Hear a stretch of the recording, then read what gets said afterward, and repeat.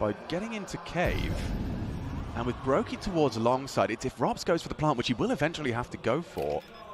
Is he covered? He Oh, he's banged! He's stuck out! 10 seconds. Like a sore thumb. Is this another clutch for Astralis? It certainly is. Staehr's turn in the sunshine.